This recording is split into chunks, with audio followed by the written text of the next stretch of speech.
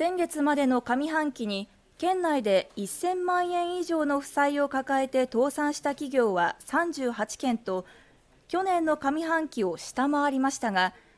県の南部では倍以上上回り南北格差が鮮明になっています。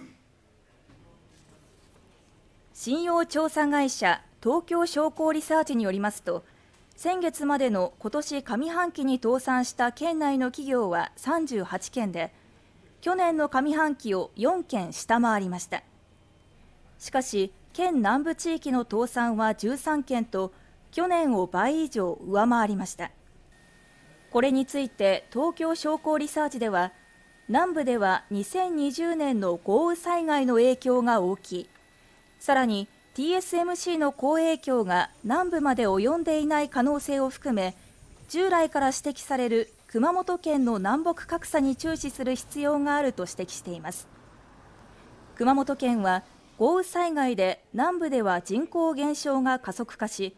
地場産業が衰退しているとして南部の産業雇用の創出を目的とした新しい復興プランを年内にも策定する方針です。